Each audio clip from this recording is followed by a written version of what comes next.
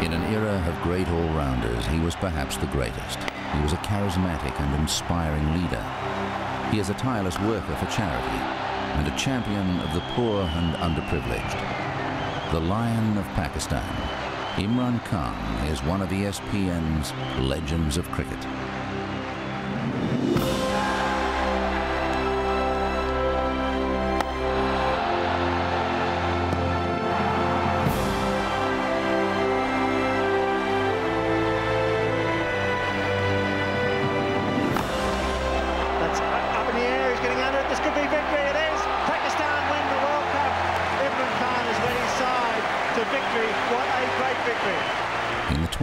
His career, Imran Khan led Pakistan to its greatest triumph, an improbable victory in the 1992 World Cup.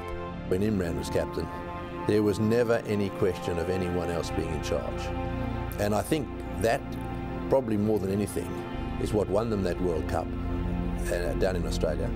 And more than anything, it's, it's the thing that uh, has put him on a bit of a pedestal in terms of Pakistan cricket. I mean, Imran Khan is right up there, considered to be um, the number one man um, in Pakistan cricket. He was the only one who always would tell us in the team meeting that we are going to win it. He was there always encouraging us, even when we were losing, even when somebody was winning. You know, to keep that uh, that spirit going through when you're losing is important. I think he led simply outstandingly well in that uh, World Cup.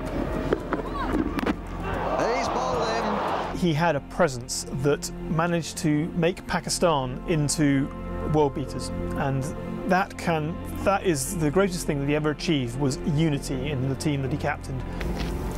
Danny Morrison round the wicket, digs it in short, and Imran's hammered him again.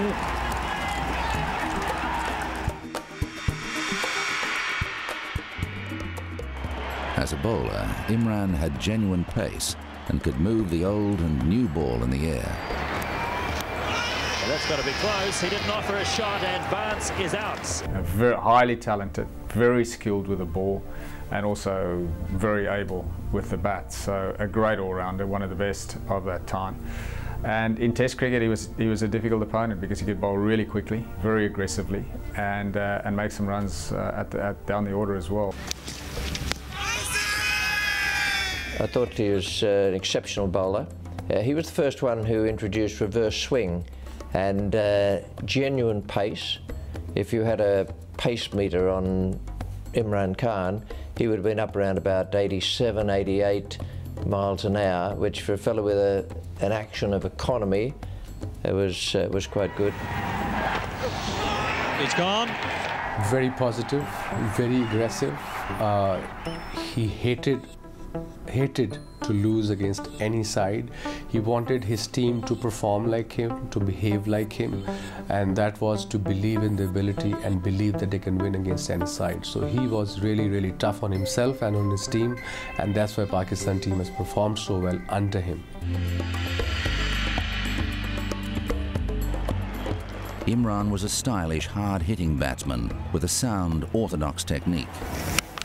Oh, pulled it away. Beautiful shot. Imran Khan, I think, towards the end of his career, realized that his pace was going down as a bowler and he had to contribute more as a batsman. And towards the end of his career, he became, I think, one of the better batsmen in the world. Started batting at number three, number four.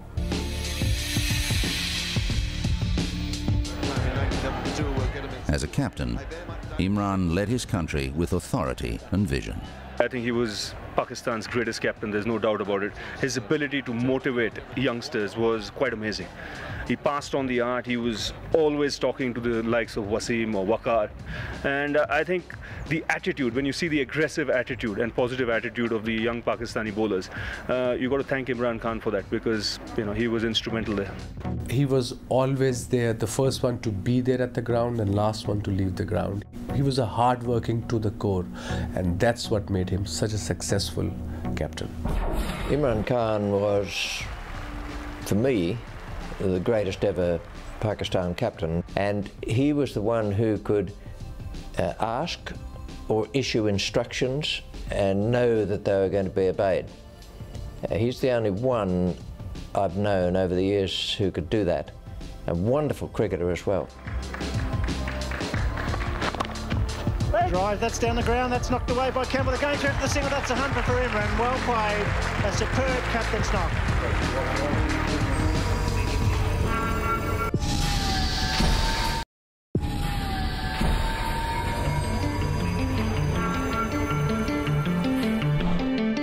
Imran Khan was first selected for Pakistan in 1971, aged 18. It would be another five years before he would establish himself at the highest level.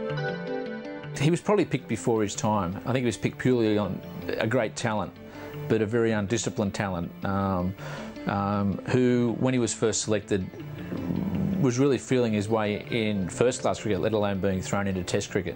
And some of his early performances, he came across as an undisciplined cricketer. And he really didn't um, solidify his place in the side until 1975, 1976. But in that meantime, from his Test debut in 71 through there, he had studied at Oxford University. And I think learnt much about life, much about himself, and much about cricket in that period. In 1976-77, Imran finally made an impact on Test cricket when he took four wickets in an innings and made a half century against New Zealand. In Australia later that season, he took five wickets in the second innings of the second Test. A week later, he took 12 wickets in Sydney. Probably his first great performance was in Sydney in 76-7 when he took 12 wickets. And that was the series that he sort of became an established uh, Test cricketer. And his, his game evolved from there. Imran Khan was a fantastic cricketer, so he, he could lead from the front. He would never ask people to go out there to do things he couldn't do or to tell people things that were impossible because he knew he could do it that means others could do it. Bat, ball in the field, fantastic athlete. That series that he had against the West Indies was a tough series because West Indies had an outstanding team. But because he believed, he made Pakistan believe. Yeah. After taking 25 wickets against the West Indies in the Caribbean, Imran joined World Series cricket. In the company of the world's finest fast men, he honed his bowling skills even further. For a, a budding fast bowler to be in an environment that also featured opponents such as Lillee um, and the, West, the great West Indies fast bowlers Roberts, Holding, Garner, and he also had the good fortune playing for the World 11 in World Series cricket that he was playing with fast bowlers such as um, Mike Procter. Well, I don't know whether I gave advice to Imran Khan or he gave me advice. It was really a matter of uh, discussing the game of cricket. World Series cricket was a, a, huge challenge. We were, we were quite matey. We just uh, discussed the pros and cons of being all-rounders. I think uh, I must say whatever Pakistan cricket has done after uh, Imran's retirement or Javed Miandad's retirement, those two main guys showed us that uh, how to tackle the world, how to tackle the world cricket, and how to beat the world cricket. And after that, we won a lot of series against a lot of sides, even their home turfs.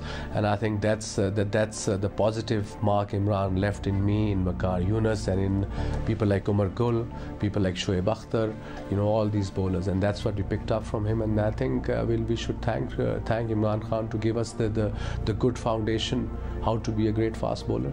I would say that Imran was the one that, that uh, I rated very highly. Uh, a penetrative new ball bowler. As a batsman, uh, he could bat any sort of innings where he could bat high in the order and play a very subdued sort of innings, or if necessary, uh, take the attack to the bowler and change the course of the match. And of course, he fielded sort of okay, but, and he was a captain. And he was more consistent, I believe, than, than the rest of us. From 1979 to 1982, Imran was clearly Pakistan's chief strike bowler. Against Sri Lanka in 1982, he took 8 for 58 and 6 for 58. Still the best match statistics in Test history for a Pakistani bowler. In England in 1982, Imran Khan was a revelation. He had been a compromised choice as Pakistani captain, but he immediately showed his leadership qualities the Lion of Pakistan was born. What he was able to bring was to a, a very kind of flamboyant Pakistani team, uh, probably real discipline and, and, and edge to them, um, but allowing them to express their natural talent. Um, probably in, you know, Pakistan have not had a captain like Imran, you know, since since he's uh, finished, to be able to bring um, a, a, a, not a team of individuals, but all very different characters. Um, and occasionally you could say that Pakistan were ill-disciplined, but he was able to, to bring the, all their talents to the table and to get them to produce. Pakistan, I think, have produced a lot of great cricketers, but they have never really produced too many great teams because of leadership. And I think Imran Khan, the leadership that he brought to that Pakistan team, made him, in my opinion, the greatest captain Pakistan perhaps ever had, but certainly the best one I ever saw. After losing the England series narrowly, Pakistan went on to beat Australia and England at home. In these two series, totaling nine test matches, Imran took an amazing 53 wickets. During the 1982-83 series against India, Imran took 40 wickets in the series, despite struggling with what was thought to be deep-seated bruising to a shin. It was later confirmed that he had a severe stress fracture he would not bowl another ball in Test cricket for three years. He didn't play at his peak when he was 30, 31 years old. When bowlers uh, reaches, uh, they touches their peak of fast bowling. When you when you when you get to know as a bowler about reverse swing, when you know as a bowler how to bowl the new ball, Imran didn't play for two years because of his shin injuries. So I think uh, he got 366 wickets. He would have been easily gone past 450, I reckon, if he would have played those two years. But definitely one of the fastest bowlers in that particular that's for sure, and dangerous.